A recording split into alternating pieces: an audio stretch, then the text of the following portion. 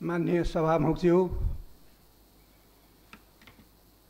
दुई तिन दिन अगाडि गएको बाढी पहिरोबाट मुलुक अत्यन्त क्षतिग्रस्त छ।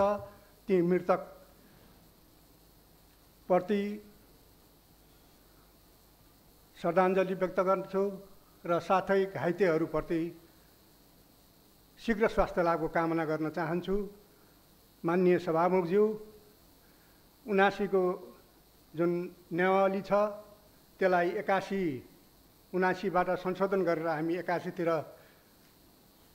प्रस्तुत गरेका छौँ।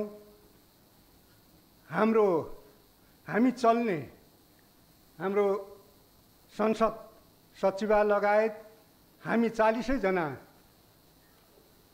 मान्य हामीलाई नियम हामी आफ्ना लागि बनाउँदै कर्णाली प्रदेश प्रदेशका जनताका लागि बनाउने नियमावली करिब एक वर्ष लागेर अत्यन्त मेहनतका साथ गर्दा पनि केही कुराहरू छुट्न गएर त्यसको अगाडि हामी प्रयोगमा ल्याउँदै गर्दा ती कुराहरूलाई हामीले संशोधन गर्ने गरेकै छौँ। त्यसैले अहिलेको यो उनासीको जुन न्यायावली संशोधन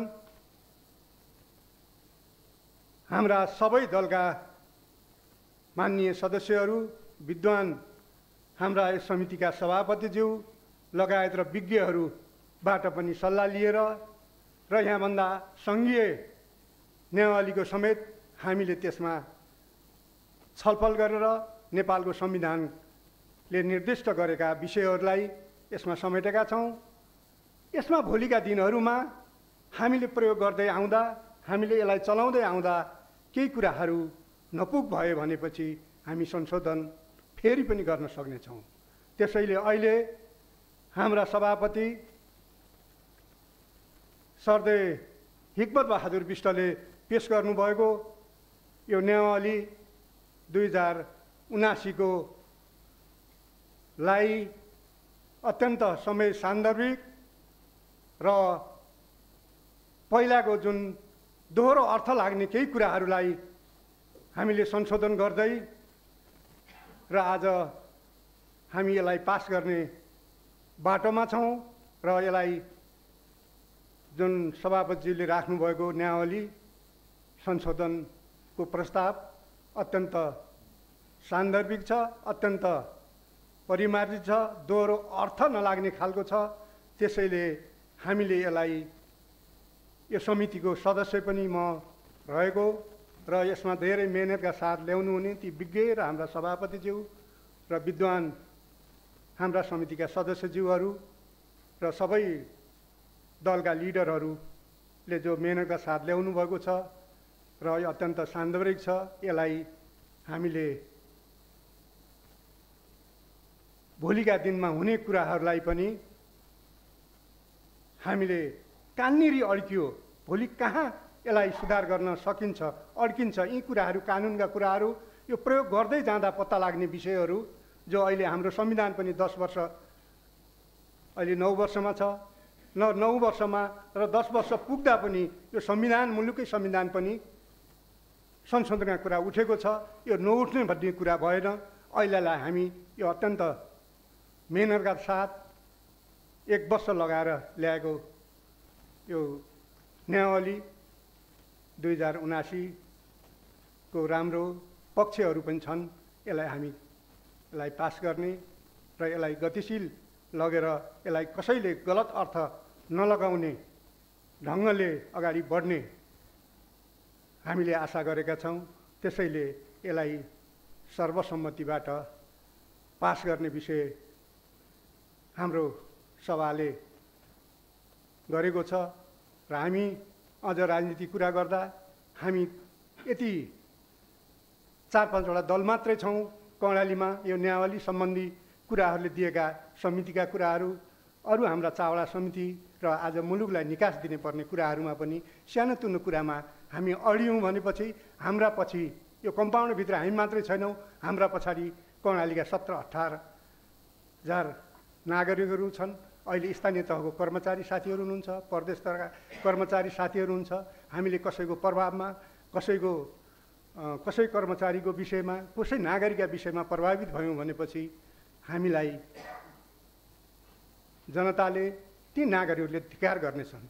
त्यसैले हाम्रा व्यक्तिगत कुण्ठाहरूलाई पर राखेर यो कर्णालीलाई सम्झेर कर्णालीका नागरिकलाई सम्झेर हामी अघि बढ्न सक्यौँ भने सत्तामा त को कति बेला कहाँ पुग्छ को कति बेला कहाँ पुग्छ हामी आएको बाइस तेइस महिनामा हामी कहिले यता बसेका छौँ कहिले उता बसेका छौँ त्यसैले हामीले अत्यन्त यो हलभित्र छिर्दा यो सभा सम्मानित सभामा छिर्दा अत्यन्त गम्भीर भएर सबै विषयमा विद्वान मान्यज्यूहरू हुनुहुन्छ दलका लिडरहरू हुनुहुन्छ हामी ती जनताका ती नागरिकहरूका मुख हेरेर र हामीले यो किताबबाट यो नियावलीबाट हामी सबै कर्णालीका जनतालाई समृद्धि बनाउनेतिर ती कर्मचारी तत्काल हाम्रो अहिले मुखमा आएको।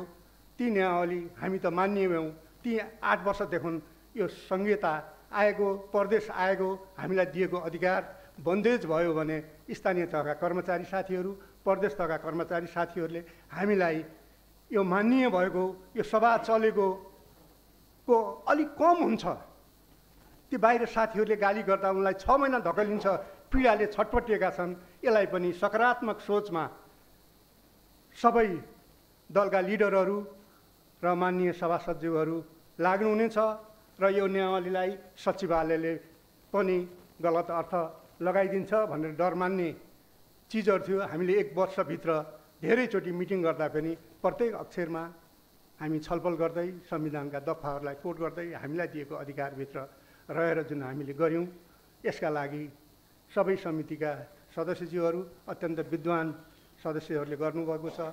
त्यसैले हामी अत्यन्त सिरियस हुनु जरुरी छ।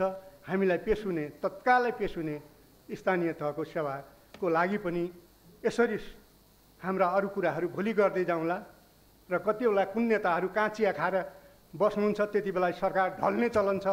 त्यो ढल्ने सरकारलाई भोलि म पनि त्यो सरकारमा जाँदैछु। माथि चिया खाएर नेताहरू बसे अरे भन्ने खबर आउन बित्तिकै फेरि हामी अर्को बाटोतिर नजाने गरेर यो हाम्रो बाँकी समय जुन कर्णाली प्रदेशको जुन बाँकी समय छ यसलाई हामीले सकारात्मक सोच गऱ्यौँ भनेपछि हामीलाई कर्णालीका जनताले र ती नागरिकहरूले काम गरेको देखिने छ भन्ने कुरा राख्दै अहिलेलाई बिदा हुन्छु। धन्यवाद। जय नेपाल।